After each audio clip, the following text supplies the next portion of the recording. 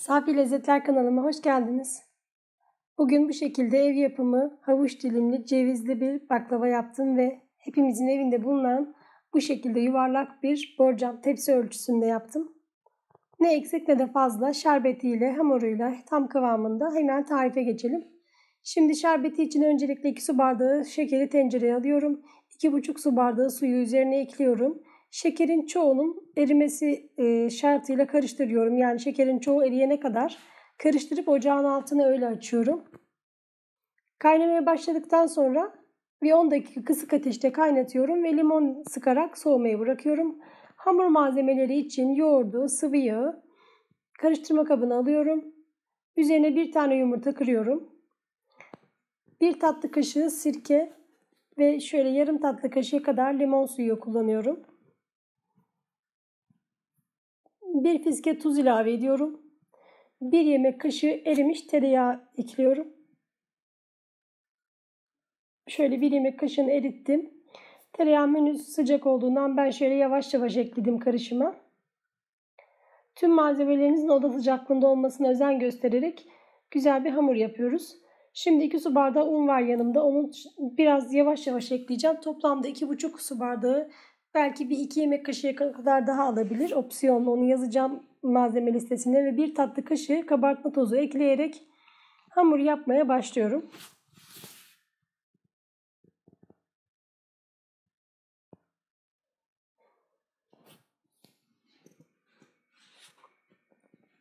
Yumuşak fakat ele yapışmayan beze yapabileceğimiz kıvamda güzel bir hamur oluyor. Hamuru tezgahın üzerine alıyorum. Bir miktar unla tekrar yoğuruyorum. Pürüzsüz bir görüntüsünün olmasını istiyorum çünkü. Hamuru böyle dıştan içe doğru katlayarak yoğurduktan sonra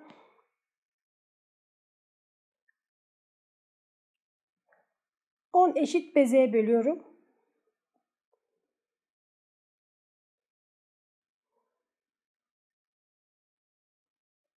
Hamurumu bezeleyip güzel bir şekilde bir kenara diziyorum. Dilerseniz bu aşamada bir 10 dakika kadar bekleyebilirsiniz. Beklerseniz hamurunuz daha güzel açılır. Üzerini kapatıyorum. Tepsiye alıyorum bezeleri. Şöyle unlanmış bir tepsi var.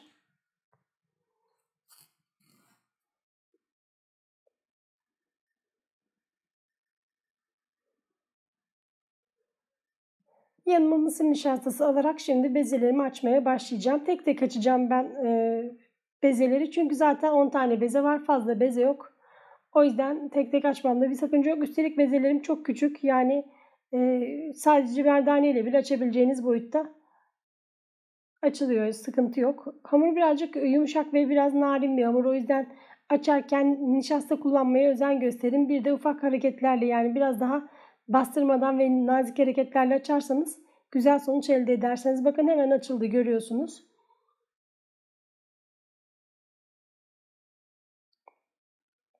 Borcam ölçüsünde açmanız yeterli. Bakın bu şekilde borcamın altının ölçüsünü alıyorum.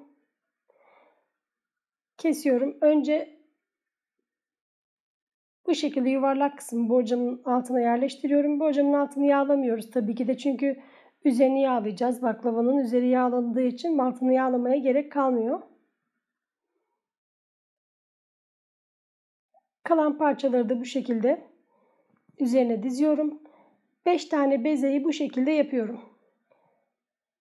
Ve üzerine bu şekilde çekmiş olduğum cevizi serpiyorum. Cevizi biraz daha küçültebilirsiniz. Benimkiler biraz büyük kalmış. Dilerseniz fındık da kullanabilirsiniz. Bu tarifte çok güzel oluyor fındıkta ama biz daha çok cevizli seviyoruz.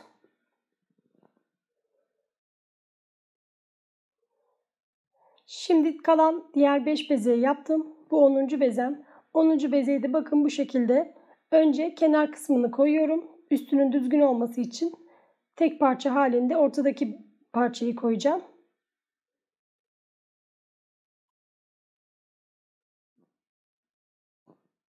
Bu şekilde. Şimdi ortadakini koyuyoruz. Üzerini düzeltiyorum. Fazla bekletmeden hemen dilimleyeceğiz. Şimdi üzerinin yağını hazırlayalım. 100 gram tereyağını cezveye alıyorum. Üzerine şöyle bir çay bardağının iki parmak eksik sıvı yağ ekliyorum. Ve bunu eritiyorum.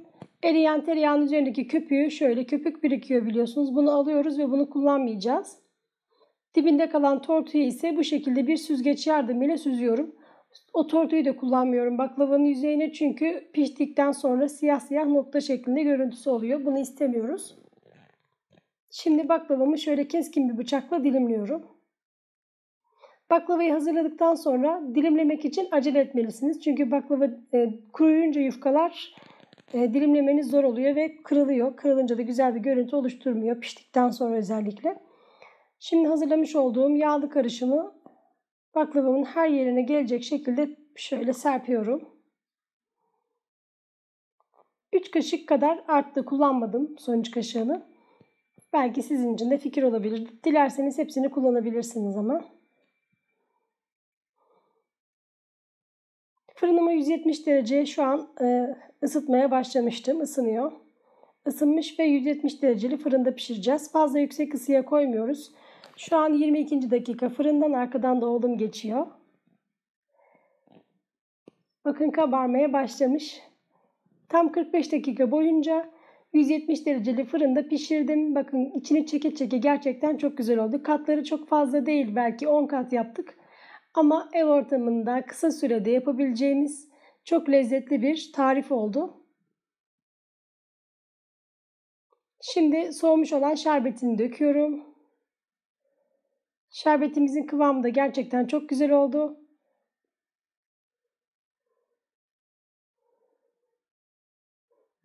Fırından çıktıktan sonra bir dakika e, tam bir dakika sonra şerbetini döktüm ben.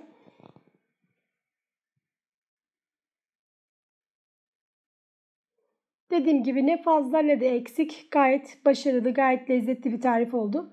Özellikle misafir çağıramadığımız, kalabalık sofralar kuramadığımız şu günlerde sadece ev ahalisine, ailemize yetebilecek ölçüde baklava yapmak da mümkün.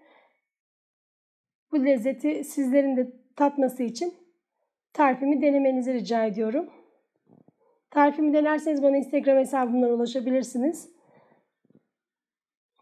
Bu şekilde servise hazırlayalım tatlımızı.